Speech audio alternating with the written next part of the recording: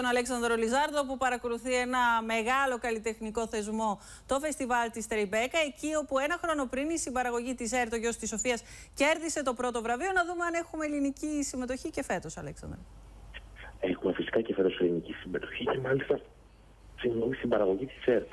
Ότι για το Μακλίν Κέντριξ, το οποίο προβλήθηκε για πρώτη φορά χθες, μια εταιρεία που παρουσιάζει τις τις, Κυπρι, τις κυπριακέ σχέσεις μεταξύ, Τουρκία, με, μεταξύ του κλίματο που ανήκει πλέον στην ε, Τουρκία, στα κατεχόμενα α, και των Ελλήνων.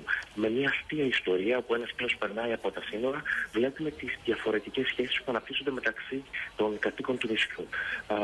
Συγκινητικό, διασκεδαστικό, όμορφο, έκανε χθες την πρώτη του προβολή ε, σήμερα υπάρχει επαναληπτική δεύτερη προβολή για πυκνό.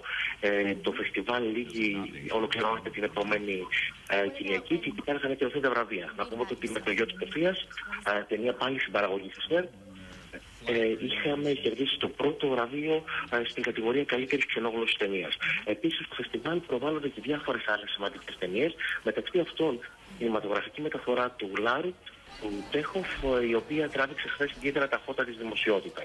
Τις επόμενες ημέρες θα γίνουν πάρα πολλές προβολές από καινούργιες τηλεοπτικές σειρές, διότι στο φεστιβάλ της Τραϊμπέκα ένα από τα χαρακτηριστικά είναι το ότι συνδυάζεται η τηλεόραση με την καινούργια μορφή που έχει πάρει μαζί με τον κινηματογράφο.